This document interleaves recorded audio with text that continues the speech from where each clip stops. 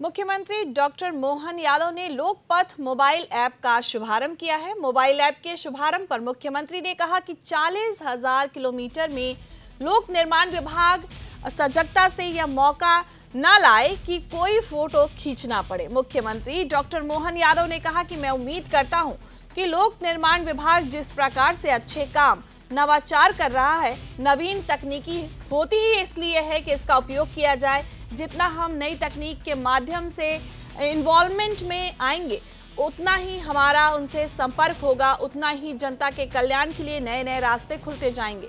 ऐसे में ये नवाचार लोक निर्माण विभाग के लिए भी फलदायी होगा और सरकार के लिए भी शुभदायी होगा।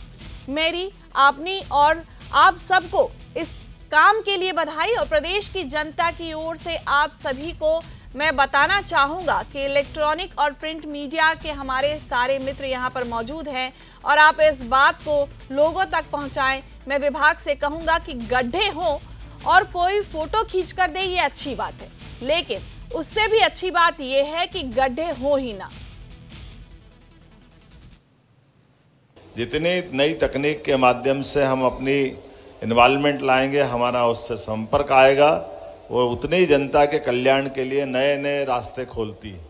ऐसे में ये नवाचार विभाग के लिए भी फलदायी हो, सरकार के लिए भी शुभदायी हो, मेरी अपनी ओर से आप सबको भी बधाई। पूरे प्रदेश की जनता को इस माध्यम से बताना चाहूँगा, इलेक्ट्रॉनिक मीडिया, प्रिंट मीडिया, सारे मित्र यहाँ मौजूद हैं। आप सब इस बात को पहुँचाएँ।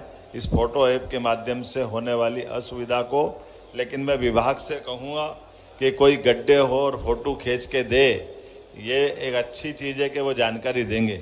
लेकिन और अच्छी बात तो ये होगी कि गड्ढे ही ना हो। तो चालीस हज़ार किलोमीटर में आप अपनी सजगता से ये मौका न लाएँ कि कोई फ़ोटो खींचना पड़े। और मैं उम्मीद करता हूँ ये सेवा ऐसी है, जिसका कोई उपयोग नहीं करे तो ज़्यादा अच्छा है। क्योंकि हमारी सजगता से ये सारी बातें आती है, लेकिन हम सब जानते हैं, बरसात का समय है, डामर और पानी की दुश्मनी है। डामर के सड़क के ऊपर जब कहीं जल भराव की स्थिति बनेगी, या ऐसे कोई हैवी वाहन, ये भी एक थोड़ा हमारे लिए चुनौतीपूर्ण मसला है।